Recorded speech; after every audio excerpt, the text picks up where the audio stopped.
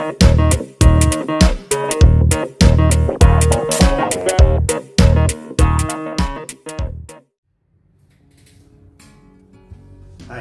good day.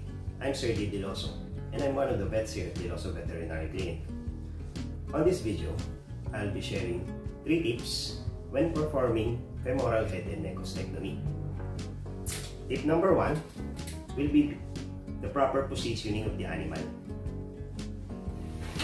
So yung tamang pag-position po ng uh, patient during femoral head and neck ostectomy is dapat yung patient is on lateral recumbency which means to say that the affected leg will be on the uppermost. On this uh, example, yung affected leg will be the right leg which is on the uppermost part of the surgical site. Now, para magkaroon po ng accurate cutting, the best tip is that the patella should always be pointing to the ceiling. So, ibig sabihin po, dapat po 90 degrees siya. So, ganito po yun. Bakit kailangan ganito po yung position ng pasyente kapag puputulin po natin yung femoral head and neck ostectomy? Because on this position, naka-expose po ng gusto yung femoral head and neck.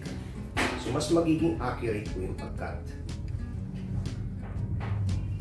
Tip number 2 would be on the proper instrumentation in cutting the femoral head and neck. There are several methods or techniques para, uh, para makat natin yung femoral head and neck. I don't recommend the use of a giggly wire or wire, wire saw kasi po, ito po, very inaccurate yung pag-cut niya ng bone which could further leave uh, or hindi natin makat totally yung femoral neck. Pwede magkaroon ng disastrous consequences yun. The second option that we could use is by the use of a osteotome.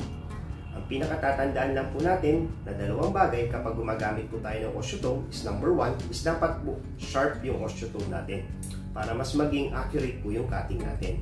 Second po is dapat kung if we will be cutting the femoral head and neck, is dapat if we will be cutting it, it should be from distal going to proximal. Bakit po bawal ang proximal going to distal?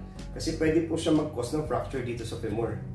So, it should always be from uh, distal going to a proximal direction. So, pag po. But the best instrument that you can use para mas maging accurate at mas maging maganda po yung cutting natin is by the use of a oscillating saw, which I prefer.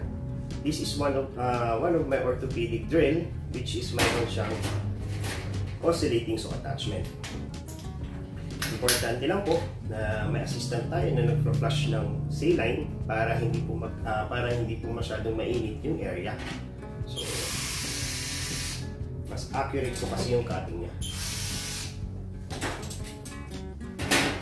The last tip na pwede kong i-share sa inyo when performing femoral head and neck ostectomy is that after performing the femoral head and neck ostectomy at mag-close na po tayo, is we should always close the joint capsule. It's very important na ma-close natin yung joint capsule on this area kasi it will again add another surface para ma-prevent yung bone-to-bone -bone contact. So those are the three tips that I will be sharing, uh, that I have shared to you in performing femoral head and neck ostectomy. Again, I'm D. Deloso, and I'm one of the vets here at Deloso Veterinary Clinic.